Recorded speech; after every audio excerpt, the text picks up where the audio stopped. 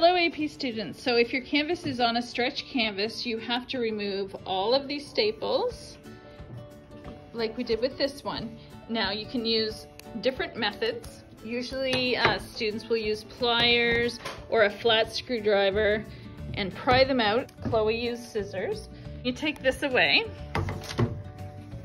and you could use duct tape or you can use packing tape. Side, fold it like that.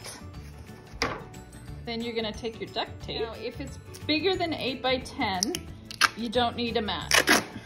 And I usually start off with a few small pieces because you want everything to be done to perfection if you're going for those fives. That's not our goal to get a five, but it's always bonus.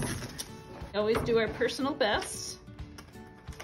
So I usually put two and then I go around doing that to every side, but then I am gonna run a strip so it's perfectly done.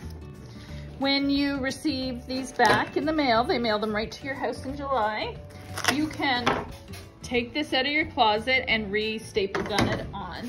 Before you mail them away, make sure you take photos of them. So when we have our AP art show, you can have prints made at a print shop on photo paper, whatever quality you want. I know students like to trade them. They also like to sell them at the AP art show but we're mailing our top five pieces out to show the quality. And usually you wanna show variety.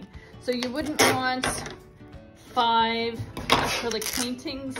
You would want maybe a watercolor, pencil crayon, maybe a few mixed medias. So fold that neatly. Flatten it out. This when we do not want this to come undone. So I put it flat across and then I'm gonna take the scissors and try to make a really tidy cut. And then I'm gonna press firmly and do that to all four sides.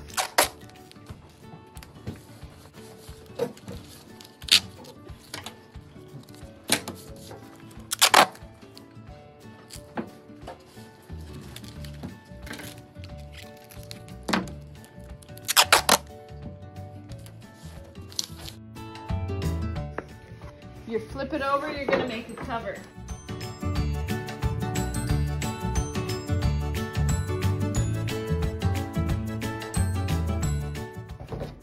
We're gonna cut this to size to fit it perfectly. That, and then cut across your fold line.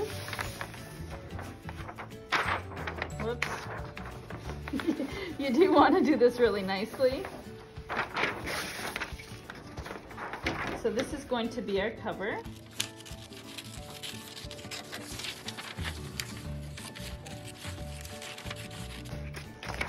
You're gonna put this on top and the tape is gonna go perfectly a line across here. This time, not duct tape, but we're gonna use the packing tape.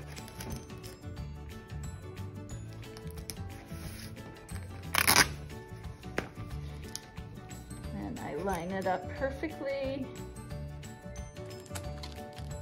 pressing down.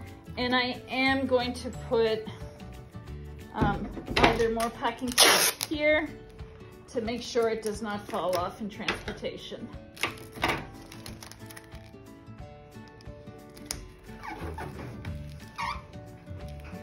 Pressing firmly, you could use your scissors. You don't want to damage the painting on the other side. So when they when it arrives to the big auditorium where they mark these, they flip them open. And when we get the stickers, you're gonna put a sticker right here. Your personal AP sticker is gonna go here and it's gonna be on the back near the bottom. So then they flip them over and they hire college kids to just open them all up. And you're gonna do a cover for each one. If your piece is smaller than eight by 10, your piece has to be minimum eight by 10. You'll cut a back out, put it on and cut a mat out, and then a cover for every piece.